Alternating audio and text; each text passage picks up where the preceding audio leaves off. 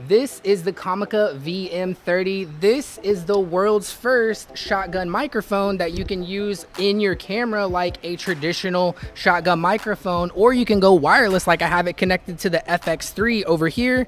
And I can use this like a stick mic like I have it here, or I could pop it up on a boom pole like this. With this type of configuration, I'm able to get a wireless boom. Let's say you're doing a walk and talk interview or something with another camera operator or they're on a gimbal. Well, now I have the opportunity to just throw this up on a boom pole and then I have the zoom recorder and the receiver right here in my back pocket. So I could just pop this up in the air and I'm off to the race. Hey, what's up guys? Ray Valencia here, back with another video, and right now you're hearing the sound of the VM30 on top of the Sony FX3. The cool thing about this microphone is it has different controls on it for actually reducing uh, noise like air conditioners or rumbles or things like that. It has two different settings for low cut filters, and it has a high frequency boost as well. So you're able to kind of modify your audio right here on the transmitter and on top of that, there's also a built-in gain dial, so you can adjust it from zero all the way up to a plus 10 gain on the actual microphone. And then if you go into the receiver or the wireless mode, the receiver has 12 steps of gain that you can use on it.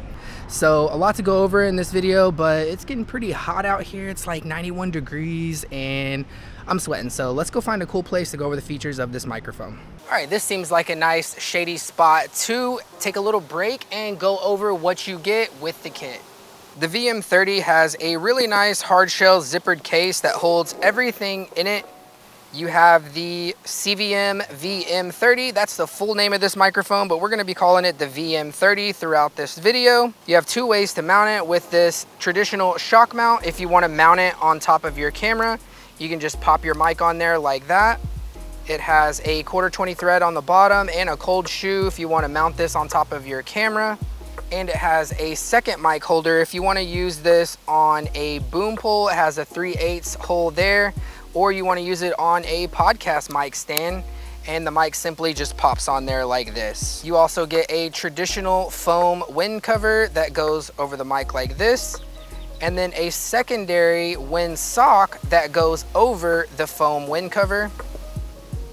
Slides on like this and then you can tighten it down like that. You have two cables for connecting to your smartphone or directly to your camera which I don't know many smartphones that have this old port on it still, but if you do, hey, it's there. Both the transmitter, microphone, and the receiver have an internal battery that lasts for up to seven hours when in wireless mode. Each of the devices has a battery indicator on the screen. They both charge through their USB-C port and can last up to 50 hours when plugged into a computer or wired through your camera. And you have a super long adaptive USB-C cable which goes from USB-C to USB-A or you can pop the top off and it goes to USB-C. So you can use this for recharging the devices or you can use it to connect it straight to your computer. You have the wireless receiver, which looks just like the Comica Boom XD series receiver. So if you're familiar with those, you have the power and the mute button and then two gain buttons. On the back, you have your cold shoe adapter that double serves as a belt clip. And then on the top, you have two outputs, one headphone jack and one regular output port. The wireless system works off a traditional 2.4 gigahertz wireless frequency and it can travel up to a distance of 328 feet. All right, so that's everything you get with the VM30 kit. Now let's go over the features of this microphone because there's a lot to go over. And this mic makes a really good podcast or voiceover mic. Not only is it super high quality, but you have the hybrid ports on it so you can use the traditional 3.5 millimeter jack straight into your camera or like like I have it here, switch over to USB-C and plug it straight into the computer. So I just hit record right here on the timeline in Adobe Premiere and now I have broadcast quality audio coming straight into the computer without having to drag or drop any files over. The audio quality is really good. It has a 48 hertz sampling rate with a 24 bit depth. So that means really, really high quality audio recordings that you're able to do right here in the timeline. Both the receiver and the transmitter have an internal battery that lasts for up to 7 hours in wireless mode and up to 50 hours if you're wired or through USB-C connected to your computer. So it pairs up automatically here and this light will be blue whenever you're in wireless mode and you'll see the little Wi-Fi symbol on the screen and then whenever you're wired this light will be green but the mic automatically turns off and on whenever you connect it wired whether you're connecting it to your computer or you're connecting it to your camera it just automatically turns off and on this is a wireless pairing button or it double serves as a power button if you're not going to be plugging this into anything. And this is your different presets and noise reduction. So you have 75 hertz, 150 hertz, and a high frequency boost. And then you hold on this for three seconds to enable or disable the safety track mode. This little screen on here is really handy. It has little audio meters on it. You can see what your audio bars are even if you're away from the camera. You also have a battery meter on it, which is super helpful. It tells you your wireless mode and then your normal or safety track mode. And to enable that, I'm just gonna hold on the safety button for three seconds. And now you see we have two tracks. We have a normal or the N track and we have a safety or this S track here on the right that's coming in negative six decibels lower. And then here on the bottom, you have your 10 step gain, very, very smooth dial with the Comica logo on the bottom. So the receiver has a plus or minus gain button on the side and this goes all the way up to a plus 12 gain if you want to make it louder or it goes all the way down to a negative 12 pad in case you're in a really loud environment and need to reduce your sound coming into your camera. So the receiver is very familiar if you're used to the Comica Boom XD2 Pro series, which is a two transmitter system that has a built-in recorder, comes with two lavaliers and everything with that, except this receiver only controls one microphone. You have a volume up and volume down gain, and then your power double serves as a mute button and on the XD Pro, this was a mode button and then it controls each microphone gain individually, A mic or your B mic. So that's the main difference there. So now my question is, is the VM30 compatible with the Comica Boom XD2 Pro? So I was not able to get the VM30 to connect to this dual system receiver I have on the Boom XD Pro Although the cool thing is you can actually use a transmitter from the Boom XD2 Pro on this system. So I'll just power on this transmitter, hold the pairing button for three seconds, and then we're gonna turn off the microphone that we already have paired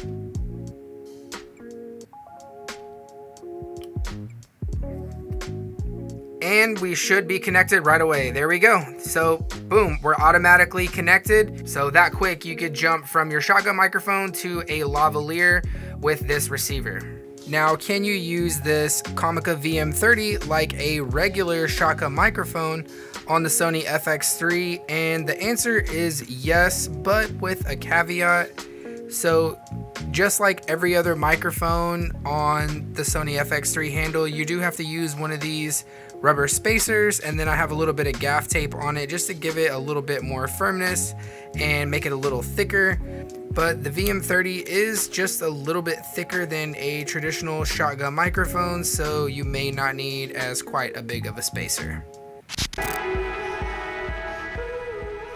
Man, it feels great when the sun goes down, but another cool feature of this microphone is you're able to enable a safety track so your right channel comes in negative six decibels lower. Like see in this example here where we're talking, we have the wind blowing and I'm a little bit too loud and I have the gain on the microphone turned up too high.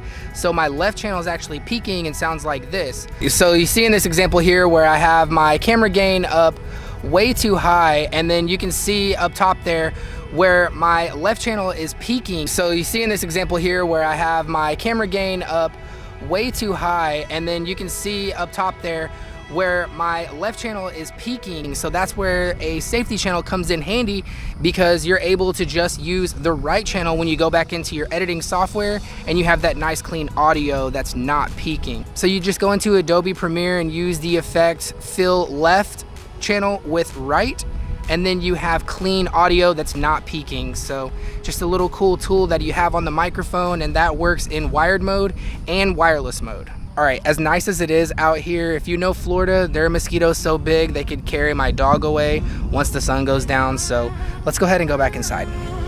So this microphone is lightweight enough to fly on the gimbal, which I've been doing quite a bit lately, but also saved me in a pinch where I was going into a reception to do speeches where there was no microphone system and no time to really lavalier up each person speaking so I just put the receiver on top of the camera and just handed off the VM30 as the best man was going up to give his speech. So I'll let you hear just a quick little snippet. So I'm glad you guys uh, found each other. I, I hope Allah blesses you in every adventure that you have. And that would be much better than having the microphone on top of the camera from across the room. The wireless mode is supposed to reach 328 feet unobstructed, so we're gonna test that out here using a distance meter on the phone, which I've predetermined, which is 25 feet in between each of these markers on the ground. And then I have the VM30 facing a Bluetooth speaker with music playing, and I'm gonna take the receiver with me on the camera with some headphones and head down the path. We're just gonna keep going backwards. I have the receiver connected to the mic jack in the camera so you can only hear the music.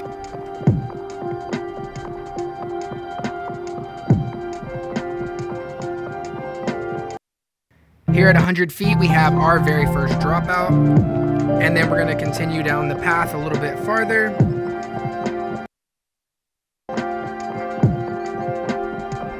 So I'm just showing you that the path is unobstructed here. And by the way, the music that we're listening to here is copyright free music I got from audio.com. This video is not sponsored, but I've been using their website to get all of my music and sound effects for quite some time now. I'll have links in the description if you're interested in joining and you can actually make some money yourself by referring their service to other creators.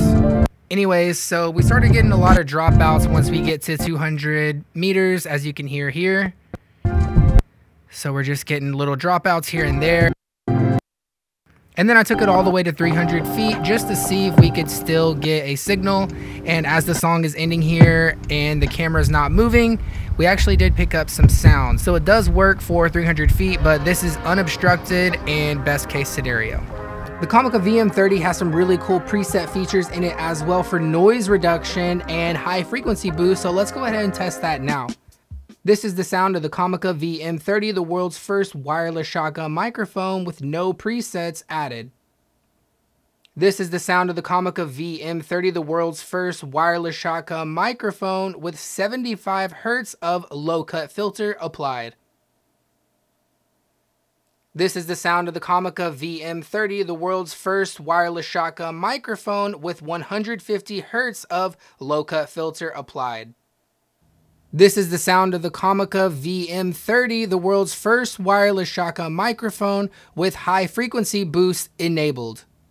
In a quiet room, it's hard to tell the difference between the low cut filters because there isn't any rumble or anything going on around, but you can really tell how much the high frequency boost added into my voice. Now, if we take these same concepts outside, I have a feeling that our results could be quite opposite. All right, now let's compare some common video microphones and see how they compare against each other. This is the sound of the Comica VM30 in a boom pole configuration, $189 for this kit. So how does this microphone sound?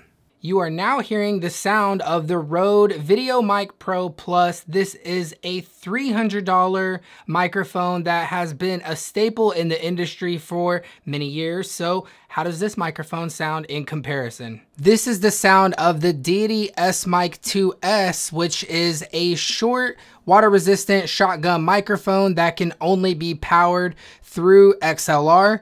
The price tag on this sound is $320. So how does this microphone sound? This is the sound of the Rode NTG5. It's one of my favorite microphones, but it does cost around $500 and it can only be powered through an XLR cable. This is the sound of the Deity V-Mic D4, which is a small $99 shotgun microphone. So how does this microphone sound in comparison to the Comica? This Deity V-Mic D4 is the closest thing to the Comica that I could think of because it has a cold shoe built in so you can add your wireless transmitter right here onto the microphone. But Comica took it one step further and built their transmitter inside the actual microphone capsule. So now we're going to be doing some wind tests here on the boom pole. I have my fan set up and we're going to be testing out the foam cover and the fur cover as well as the high frequency boost and the low cut filter. So I made this controlled setup here where I have this fan pointing directly at the boom pole right over top of me so we'll be able to hear the difference in sound and everything will be the same. So all right let's get started. We're to be staying wireless so we can listen for dropouts and clarity in the microphone. And the cable that you see here is actually an XLR cable that's built into my boom pole so I just have it bongo tied off to the side for this test You are now hearing the sound of the VM30 with no foam cover on and no wind. So it sounds really good right now, I'm sure. So let's go ahead and add the wind in. All right, now you're hearing the VM30 with no cover on or anything. I have the fan on high, just blasting directly across this microphone.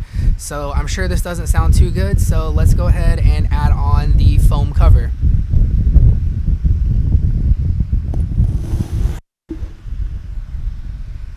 All right, now you're hearing the foam cover, so this should be a lot better already. So how does this sound in comparison?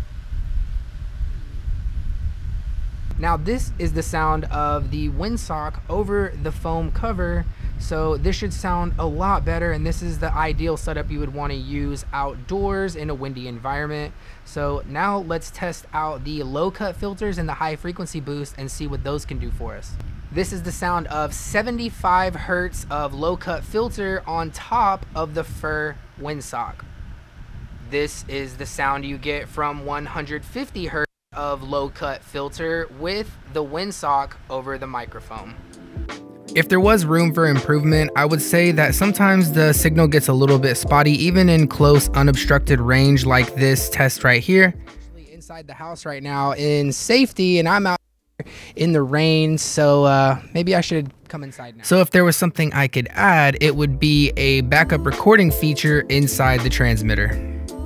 So who do I think the VM30 is for? Well, if you are in need of a very high quality microphone, the sound of this microphone is actually very good. And for what you get, this whole kit for $189, I would say is a pretty good value considering that there are lesser options for more money. So whenever you think about that, this is a really, really cool invention. Now I'm guessing that seems how this VM30 is the first one to hit the market that every other audio company is going to be coming out with a microphone with a transmitter built in too to compete with this beast. So I'm looking forward to seeing what Comica comes up with in the future. But if you're interested in picking one up, I'll have links to everything down in the description below. Leave me a comment if you have questions about anything on the microphone that I didn't cover. Shoot for the stars and I'll see you very soon in the next video.